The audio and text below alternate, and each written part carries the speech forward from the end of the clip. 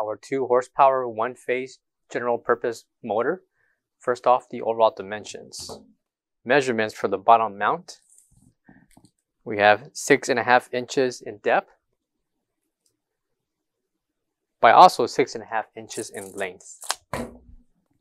Coming to the front will be a tag with the technical specifications along with the voltage information. Measurement or radius for the motor. We have six and a half inches going all around. Voltage will include 115 to 240, and this is not limited to all general purpose use, including exhaust fans and much more. For all questions, give us a call or visit our website coolerdepotUSA.com for more information on this product. Thank you.